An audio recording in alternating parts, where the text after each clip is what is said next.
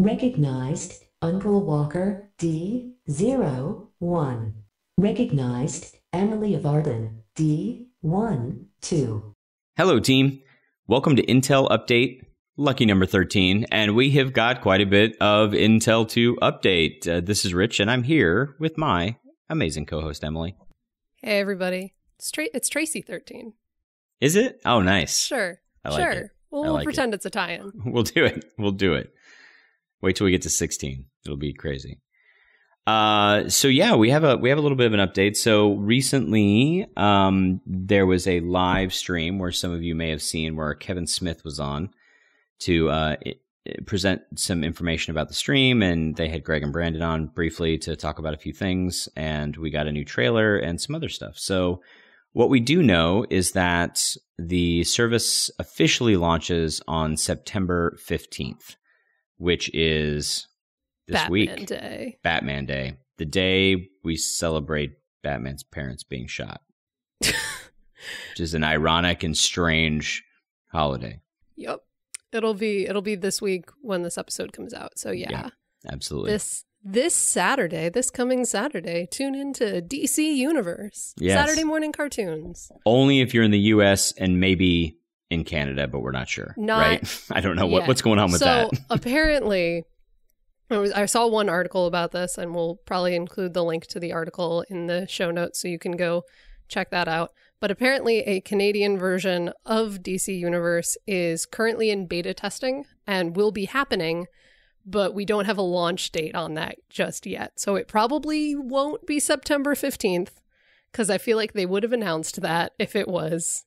Uh, and we have no idea about any other sort of international version of the site. But Canada will eventually get DC Universe. That's that's the best we know. it's a step. Right. And then during the DC Universe stream last week, they did confirm a few things. Uh, the service will launch with a bunch of stuff, uh, including the original Superman films, Batman Begins, uh, The Dark Knight, Batman the Animated Series, which has been remastered. I saw there was a Yeah. post up of the remastered version, which looks stunning. Yes. Um, I'm really excited about that. Uh, Static Shock. Uh, f- well, I was going to say of course, but maybe it wasn't of course, but now for sure, the first two seasons of Young Justice. It's a good idea. Teen Titans. Uh, the live action. Was it the Constantine movie or was it the live action Constantine show? I think it was Constantine movie. Show. Oh, was it? Okay, I I actually don't don't, remember. Yeah, so I maybe have one I can't both. remember. I just remember seeing Constantine was in there. There was a lot. They were Yeah, just kind of showing clips and being like, "This is going to be on DC Right. Universe." I'm like, I can't keep track of it all. right. Uh, Lois and Clark uh, from the 90s, the original Wonder Woman TV series uh, from the 70s. And both of those are also going to be remastered. I think. Oh man, I think they so also good. said Lois and Clark and Wonder Woman are both going to have remastered footage. they would they would need to be. I think. I'm thinking. I mean, TVs TVs are pretty It's terrible, charming. terrible back then. So you, we didn't know how terrible we had it. I can't be sure because I can't remember. The only one that they've been really promoting as remastered is the is the Batman the animated series. But I feel like when they showed those clips, there was some little note down in the corner that said they were going to be remastered. Nice, nice. And then uh, some DC animated films too, like Gotham by Gaslight. Yeah. So that's the kind of thing. We still, I mean, we'll have to see what actually gets comes out and how they're going to cycle them in or out. If they're going to be, we know the comics are going to be a what was the word they used? Curated list. But uh, I don't know if the movies are going to be cycling in and out, or if they're just going to be slowly adding them as they get remastered.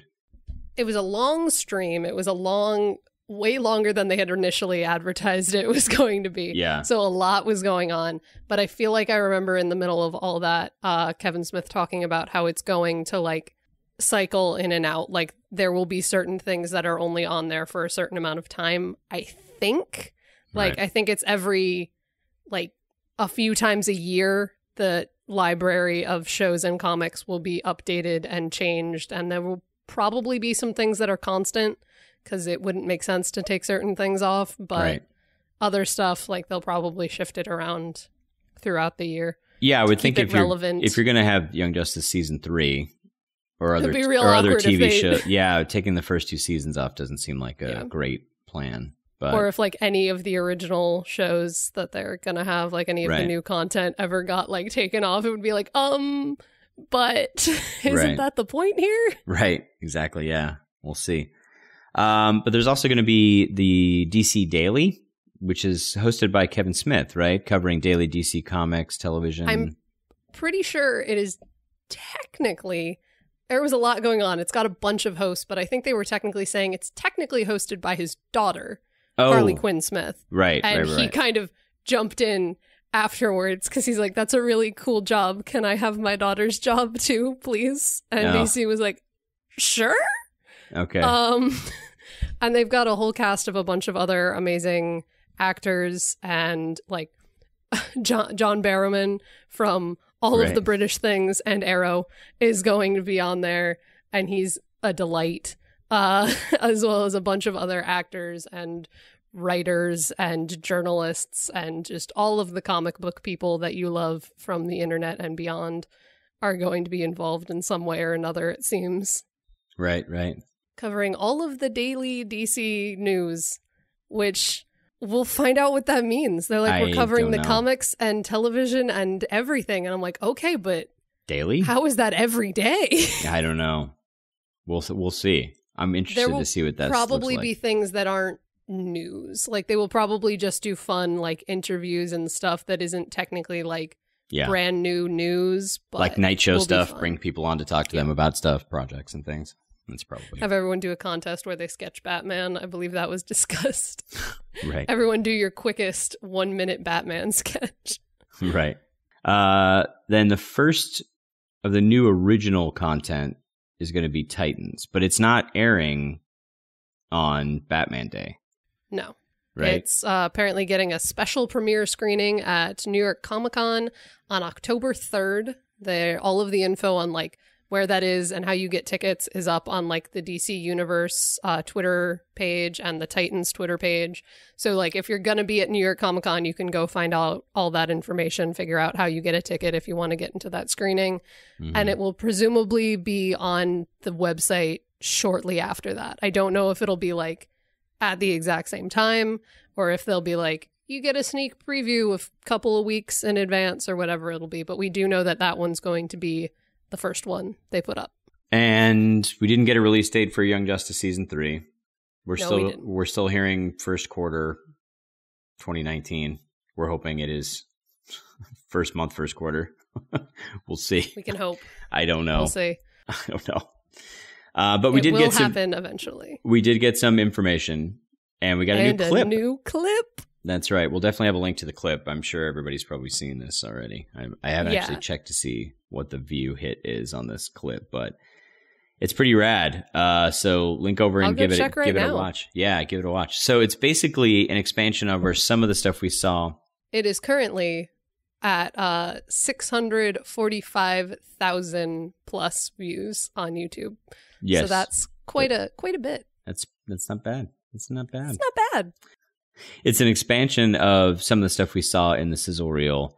So it's Nightwing's mission in Moscow to rescue some kids from a metahuman trafficking ring uh, and destroy equipment uh, that they've been using apparently to turn kids into with metagene potential into fully fledged metahumans using something called tar. And uh, kind of the the one big reveal well okay we'll we'll get to there's a, that there's a couple, but um, uh, they analyze the tar and they find out that there is a, it's soil involved that only exists in Markovia, which is used to make the tar, which is where this metahuman trafficking ring likely started, and so that's kind of how they get they get there. And obviously, it's got to be in the first episode or two because they haven't even gotten to Markovia yet. yeah Might very well even be the first episode.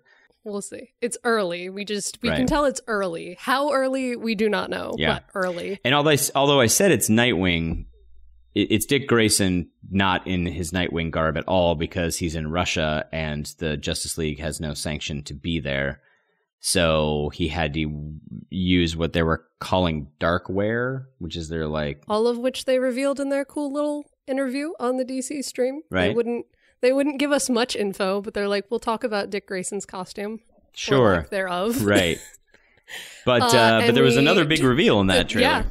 Who gets to say it? Can I say it? You go for it. It's Oracle. We're getting Oracle. We're getting Oracle, definitely I voiced was- by Alyson Stoner. So it, I was I'm screaming in our group chat 100%. when it premiered. I'm pretty sure I was typing so fast I misspelled her name because I was so excited. yeah, it was Oracle. Um, I was I was in the middle of juggling several kids, not literally, but like I was. Re- I was like, you guys got to keep. I can't watch it all. It's a big. It's it's a long stream, and I don't know what's happening. And so Emily and Neil were watching it, and they were keeping me up to so date. So you got you got three messages back to back that in all caps said new clip, Nightwing, Oracle. right. Ah. Ah. And I think Neil also went, had "Wait, a. what?" blah, blah, blah, blah, blah, blah. I think Neil also. You're like, wait, what's happening? Right. Uh, so then I went and watched the clip, and it Yeah. was pretty rad. But on the stream after releasing that clip, they did a little interview with Greg and Brandon where they refused to reveal anything more about or- Oracle. Literally, not even a little bit. literally, all they said was, "We're definitely going to hear her, and we like our secrets." Yeah, and Kevin, Like, Kevin no Smith was like, "Oh, so we're gonna get to see article uh, Oracle," and and Greg was like, "Well, we'll definitely get to hear her at least." So like, we have no idea what Greg. that means. "Yeah, Uh, totally." But I'm pretty sure I saw shortly afterwards when they shared the clip. Uh, Greg uh, Greg Weisman uh, tagged Alyson Stoner, the voice of Batgirl in season one and two, into that post. So we're almost definitely sure that Oracle is voiced by Alyson Stoner. So I feel like we can kind of extrapolate that it's almost definitely Barbara. Some people are like, we haven't had confirmation and shouldn't assume anything. And I'm like, you're right. They could surprise us, but I'm like 99% sure that it's Barbara. I don't see any reason why they would need to change that. Yeah. But we also don't know. We didn't see anything, so we don't know if she's in a wheelchair. We don't know any of that, and uh, so we don't know how they're going to handle that. And we've we've talked about our. I would like I would like to see Oracle as a as a character that happens to have a disability who is a, one of the most like influential characters in the DC universe. Uh, we just kind of would like her not to have the same origin. So Yes. I just want, if they decide to do that, if they decide to have Barbara be in a wheelchair in season three, I am 100% okay with that. I just lean towards being like, I would like her origin to have her have some agency and for her not Right. to be collateral damage Yeah. in someone else's narrative. in someone else's story. Yeah, exactly. yes. Please don't make her a prop. That yes. would suck. Uh, so um, we'll see. We'll see. I think Greg and Brandon. Uh, I mean, I think they. I think they know that. like, I think they get that um concern. So I'm hoping that that will come across. But me me just being me and me having my my super sweetheartsness nightwing is absolutely flirting with her in this clip oh yeah, okay hundred it. percent. Oh, it's nice to see it happening outside of the tie-in comics because we don't see it in the show like at all so i'm like if we're leaning towards this i appreciate it i appreciate little little nightwing in the middle of a very important mission just still attempting to flirt with barbara it's cute i have also enjoyed people pointing out that however many years this season is in the future, we are still holding true to the grand Young Justice tradition of blowing up buildings on covert operations. right. Just, just do it. It's Yeah, fine. It's fine. There will be no consequences. That's right. You'll get a. What was it? You'll get a report on your many failures. Stop blowing up buildings. Until kids. then, good job. Yeah, exactly. That's kind of it, right? That's all we got for Young Justice, and the only other thing uh, people have kind of been shouting about in that clip is that Barbara f- refers to something as being crash. oh yeah, and for sure. some people That's are right. really, She really said loving that. It's so crash, and she says it real casually and real fast, Yeah. like it's just part of the lingo now, which is really really I cool. yeah, I've I've decided in my my understanding, we'll see if it's true or not, that it's like like whelmed, that it's just entered the the the team vocabulary of just Right. things everyone says and accepts as words Right. now, Yeah, uh, and I love it. nice. Um, let's see. The only other things I can think of, real quick, before we get on to some reviews and a few other things. Uh, next week we have a very special episode. Yeah, We do. Some of you may have seen uh, producer Neil and I post some pictures.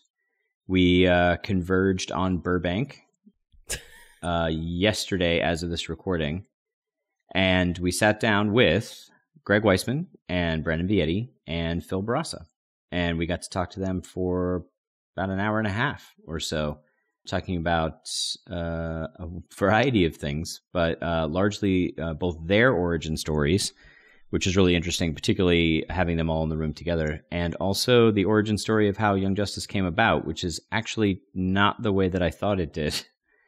Uh, which is interesting. So, um, some people may have heard some of the story before. I hadn't. I didn't happen no, to have heard no the story. spoilers. Yeah, No spoilers, no Rich. spoilers. So, so that is pretty great. Um, so look forward to that next week. And if you haven't seen the photos, we just we were able to take a few pictures from inside the Warner Brothers Animation Studio, so that was pretty cool. And so that was exciting. So that's next week. We have uh, some more interviews coming up too. Uh, we have Matthew Bordnave, who's one of the storyboard artists who worked on season three and did a lot of work on season two as well. Uh, that was a really fun interview talking about a different aspect of the animation process for the show, which is really, really cool. So, um, yeah, so that's kind of what's going on. So look forward to that next week. I'm pretty excited about that. So uh, let's So move on to a couple I wasn't of. there. I know. I'm going to get to hear it. I know you weren't there. Uh, we uh, then we have a couple of reviews and uh, one announcement for a new thing that is a place uh, community you can participate in, and then we'll roll this out. So we have a review from somebody who had given us a review last time, and I made Emily try to pronounce this name last time, so I have to do it this time. Yep. Uh, the review is entitled "Becoming My Heir" by Gibby Gabs Goobsagabus. That's the best Sure. I can do. Yeah.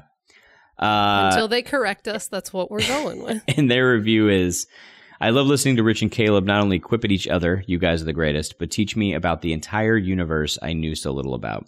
Listening to an episode always leaves me with a good feeling, which might explain why I tend to binge five or six episodes at a time. Oh, that's nice.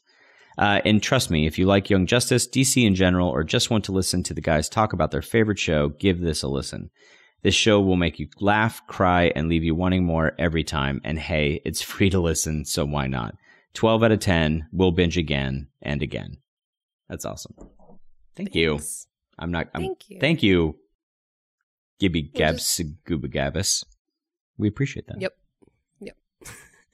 Uh, our other review for this episode is just titled Incredible, and it is from Ryan Bullen, uh, who says, This is one of the best podcasts I've listened to and gave me some great new insight into my favorite animated show. Short and sweet. We appreciate it. Yeah. Thanks. Uh, and then the social network thing we were we were wanted to share with you guys is that the the Young Justice Wiki and the Young Justice subreddit have combined forces and created a Discord that you can go and participate in. We'll have a link to the tweet that was sent out by the uh, Young Justice Wiki team, but you can pop over to, and this is the invite link. It's Discord app, forward slash invite forward slash small h, small u, small s, capital F, small h, small m, small v. And we'll just, we'll include that link down in the show notes because that's probably easier than trying to transcribe us saying it. Yeah. it seems like they would give you something that was a little less random. But anyway. Well, it's because there's so many discords. oh, that's true. I assume. but I mean, you could figure out your own title, right? Why don't you put your own title of your Discord in there? Rich, I don't know how Discord works. I don't either. I'm on. We have. I, I've been on Discord for some gaming stuff, but this is the first time I've seen Discord being used for a social, different kind of social media situation than um than gaming. So that's kind of cool. So link over there and see what kind of conversations are happening there. Uh, and that's it. That's it for this update. Uh, of course, the best way to support our show is to share it with a friend. You can also support us with five star reviews on Apple Podcasts or your podcatcher of choice. Please continue to hashtag buy YJ Comics on Comixology so you can read all of those before season three comes out. Uh, and buy the show somewhere online until the DC Universe site officially launches on September 15th. We finally have a release date. We are so excited. And I'm pretty sure you can still pre order. Might still be up as an option. I can't remember exactly. Um, I think so. Yeah, I don't know feel why like any day before the actual launch is still pre-order, so Yeah. there is some there is some discount if you do that. Just be aware, you got a few more days. Maybe, Um, yeah. Check it out. uh, you can also use hashtag Young Justice Outsiders when talking about season three and getting hyped all over the internet. And if you want to help us get more episodes, more Secret Origins, more actual play podcasts, and more, please consider supporting us through Patreon. For just a few dollars a month, you can help us do even more with the show while getting some great rewards for yourself. And remember, Stay whelmed, everyone. You've been listening to Whelmed, the Young Justice Files podcast. Our hosts are Rich Howard and Emily Booza. Our editor and producer is Neil Powell. Our theme was composed by Emily Mio. Our logo was created by Kevin Bates. Whelmed is a fan made podcast and is not officially affiliated with DC Comics, DC Entertainment, Warner Brothers Animation, and any other owners of Young Justice or its related source material. As such, these companies have sole ownership of all symbols, images, names, logos, and proprietary material related to Young Justice. Original content of this podcast is ours under Creative Commons. Thanks for listening and stay whelmed.